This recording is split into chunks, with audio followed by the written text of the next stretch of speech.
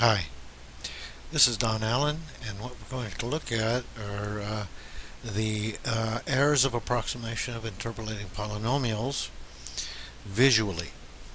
We're going to consider a few examples showing the function, the interval, the number of subdivisions of the interval into equal parts. And what we'll see is that some of the approximations are very, very good, while others are quite poor. In the following, all the calculations and plots were generated with Maple. The mathematical text you see was generated with Scientific Notebook.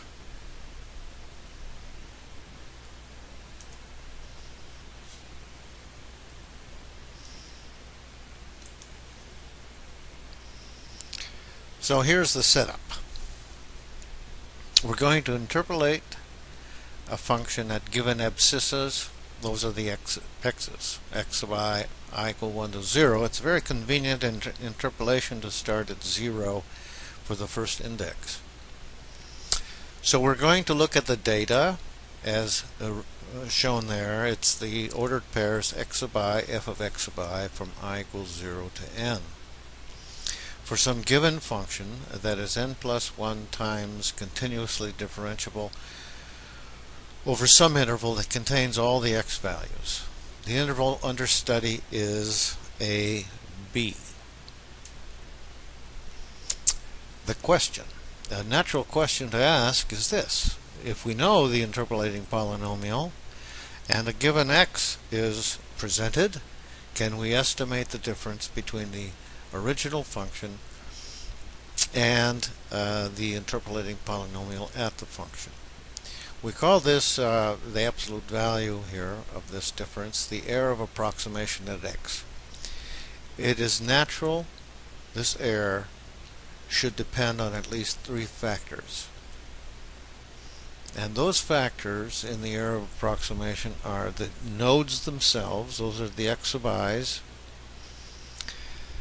uh, here we are assuming that x naught equals a and xn equals b and the other values are increasing from a to b. The selected value of x and properties of the function f of x. From our studies, there is a, a basic theorem uh, that uh, describes all this. Um, once again, the x of i's are the nodes but in this case uh, they can be any nodes. Um, we can certainly expect that the farther x is from the nodes, uh, in fact even if it's outside the range of the nodes, the uh, greater will be the error of approximation. Uh, one thing that people often do is they do an interpolation of data and then they evaluate the interpolant, that is the polynomial or whatever, beyond the range of the data, well beyond the range of the data. And that often leads to great errors. Although uh, people tend to want to believe the prediction is accurate. It's it's actually uh, it's actually quite a, a source of error in um, approximation theory. We might say also the more a function oscillates, the, uh, the less representative of the function the data uh, uh, will be. That is, you might evaluate the data all where the function is sort of about the same, but yet the function is oscillating in between the points. Consequently, the error of approximation will also increase. There's a fundamental theorem here that tells all provided the function has uh, enough continuous derivatives. So it will not apply to functions with corners, such as the absolute value function. However, we can apply it to any function. It's just that uh, if the function does have corners or jumps or so forth, the interpolant will be often very much in error. Here's the function that comes from the theory we know that we're, we're going to uh, interpolate the function at the nodes x sub i from i equals 0 to n and they're uh, all in a b. Let p of x, n be the unique polynomial of degree equal to or less than n that interpolates the data. This is the theory that you have studied. Let x be some fixed value in the interval ab although even that's not required. Then there's a value c in the smallest interval that contains all of those points for which the difference between the function and the interpolant is given by that long expression that you see, the n plus first derivative of f at c divided by n plus 1 factorial times the product of those factors x minus x sub i, where i ranges over all the nodes. What we need to do is estimate the right side of this inequality, and we're going to we're going to stumble upon that uh, now before we get to some examples.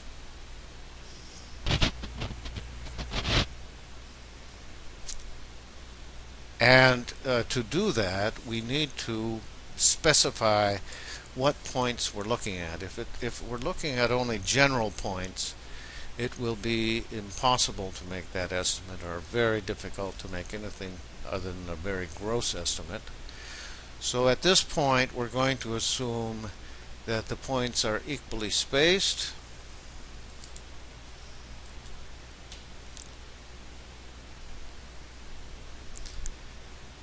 And the spacing is going to be b minus a over n.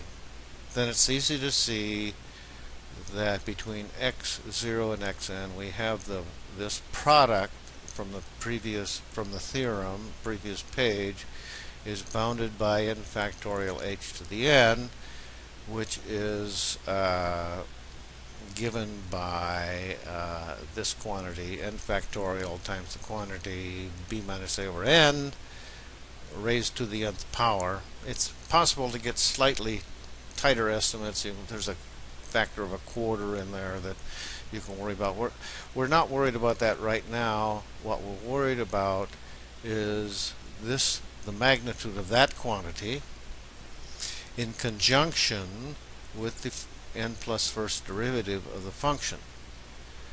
So, uh, putting it all together, uh, the estimate of the product and the other is that we have the difference between the function and the interpolant is bounded by the maximum value of the n plus first derivative times b minus a over n raised to the nth power divided by n plus 1.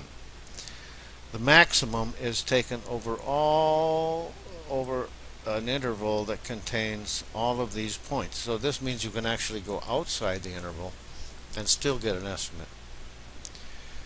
So the approximating error of a of approximation, the uh, the estimated estimated error of approximation really depends on the n plus first derivative of the original function. The other terms, namely these, are the same for every function. So that's the key term right there. Making this estimate is very difficult, uh, except in very simple cases, in which case you would maybe do something else. Uh, in the slides below, we'll just so show uh, how well equally spaced interpolants approximate various functions. Okay? So the key is this derivative, but simultaneously, this derivative is something you often cannot estimate. Note, and keep, keep these points in mind, it actually turns out that using equally spaced points is not necessarily the best strategy for interpolation, but it is the simplest.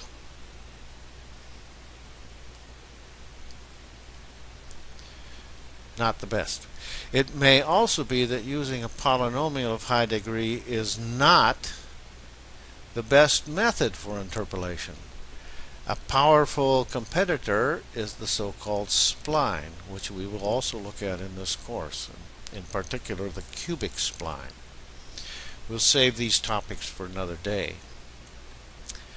What we're going to do now is look at a few examples. So what we start with is a function, an interval, the number of subdivisions of the interval, which means we'll have n subdivisions, which implies n plus 1 points, and then we're going to look at the graphs of the function and the interpolants. Okay? So those are all the ingredients, and we're going to use Maple to compute those, and those will be the graphics you see. Let's start with something very easy, the sine function. It's just up and down, or down and up, and then down between minus pi and pi. That's one period of the sine function. And we're going to take a polynomial of degree 4. The original function is blue. The interpolant is red. And you can see that a fourth degree polynomial does fairly well in approximating the sine, but not really well. All we need to do for this function is jump up the number of points to 8.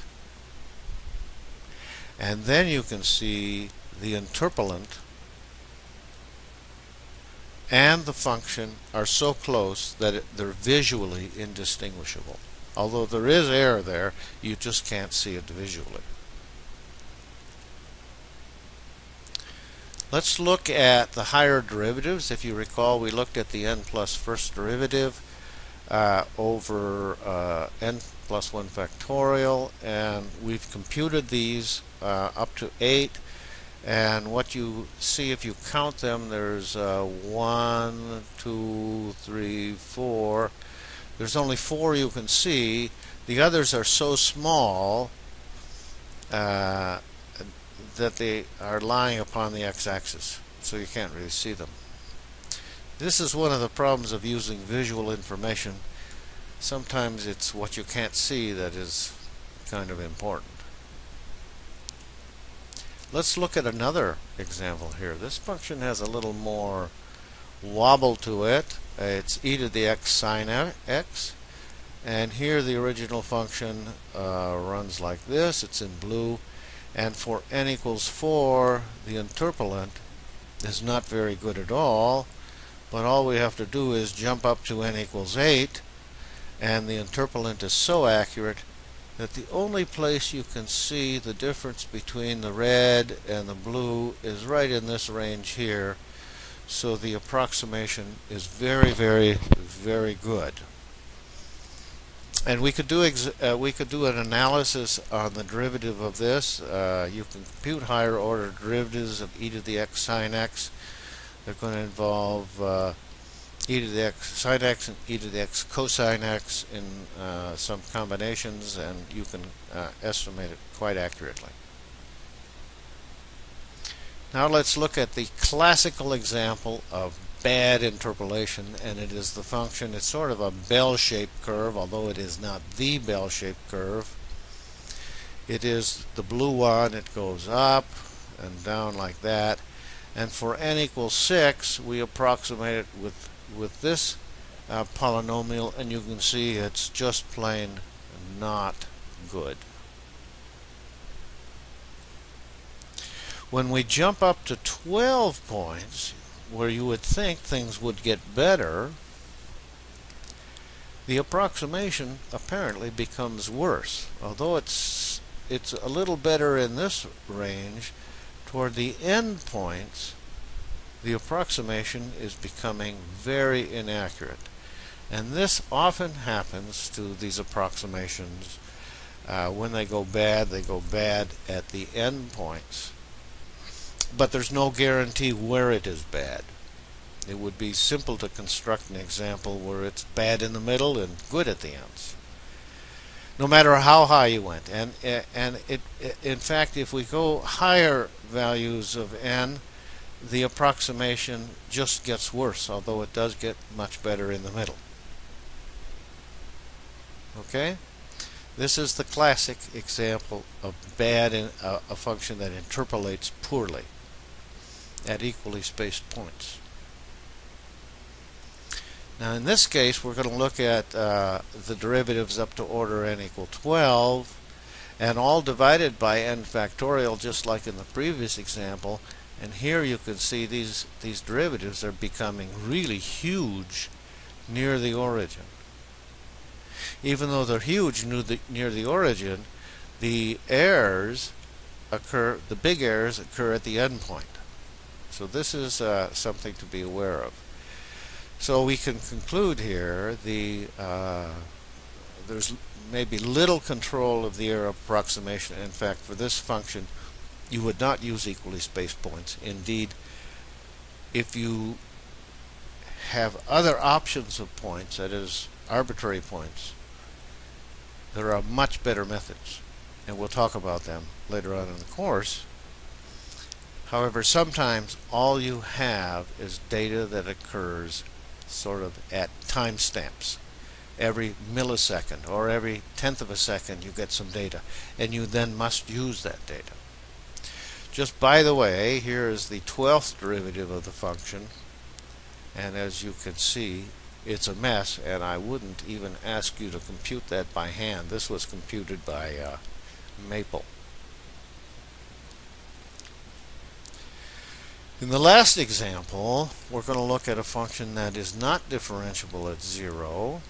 The absolute value function, it is the function that is uh, uh, uh, looks like a wedge or a V and you can see when n is 12 the interpolants are reasonable but still they're not very good however when we go up to 24 n equal 24 and take a lot of divisions the endpoint behavior is so terrible it goes here down to minus uh, almost minus 70 that it distorts the scale of the graph this is still height of 3 down here we have a height, uh, height of minus 70.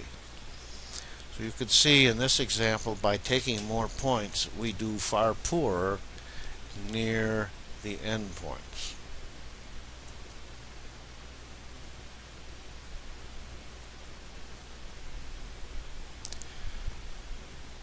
So that's uh, what we wanted to show you today, and I hope it uh, shed some light on interpolating at equally spaced points.